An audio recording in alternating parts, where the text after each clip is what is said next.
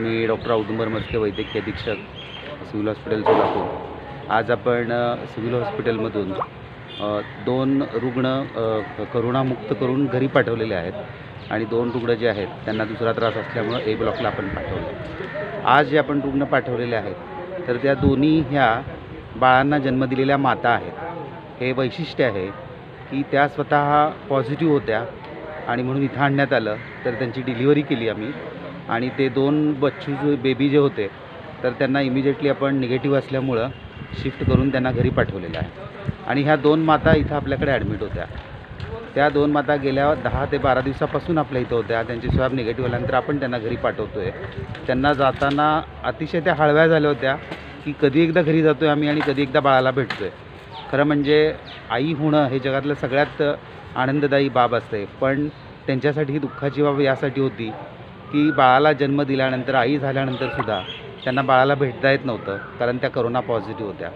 पण बाळाला करोनाची लागण होऊ नये त्याचा संसर्ग होऊ नये म्हणून त्यांनी आपल्या मनावर दगड ठेवून त्या इथं हॉस्पिटलमध्ये राहिल्या होत्या. आणि आज त्या बाळाच्या प्रेमाखातर त्यांनी इथं करोनाशी झगडा करून लढा देऊन करोनाला हरवून आणि त्या जिंकून इथून आज त्या बाळाला भेटण्यासाठी घरी गेलेल्या आहेत. ह्या अशा काही छोट्या छोट्या गोष्टी असतात की ज्याचा क एक वैशिष्ट्य असतं असं. हा करोना हा महाभयंकर जरी आजार असला तरी त्याच्यावरती मात करत रुग्ण बरे होत घरी चाललेले आहेत. तर मी सर्वसामान्य जनतेला आव्हान करतो की असे हे जे रुग्ण आपल्या इथून बरे होऊन घरी जात आहेत तर त्यांना तुम्ही सापत्न भावाची वागणूक देऊ नका कारण ते आता पूर्ण बरे झालेले आहेत. आता आज घरी ह्या म महिला जातील तर त्यावेळेला त्यांच्या घरच्यांनी त्या बाळांना त्यांच्याकडे द्यायला पाहिजेत. त्यांना घेऊ द्यायला पाहिजेत. शेजारी पाजारीच्या लोकांनी तीन फूट डिस्टन्स तुम्ही ठेवा पण त्यांना एकदम सगळ्या घराची दारं बंद करून घ्यायचं शेजाऱ्या पाजारी त्यांना येऊ द्यायचं नाही बघायचं नाही बोलायचं नाही. हे असं करू नये असं मी आवाहन करतो. आणि हा हा करोना हा आजार बरा होऊ शकतो आहे ह्याचं हे जिवंत उदाहरण आपण पा पाहतो आहे त्यामुळं घाबरून जाऊ नका. काळजी घ्या पण काळजी करू नका.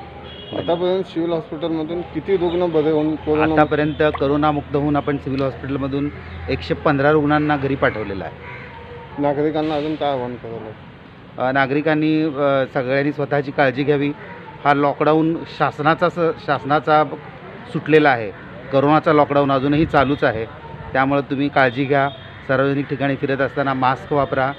अ, एकमेकांमध्ये डिस्टन्स ठेवा. साडेतीन फुटापेक्षा जास्त अंतर ठेवा. खोकताना शिंकताना तोंडावरती रुमाल असावा मास्क असावा ह्या सर्व काळजी घ्याव्यात.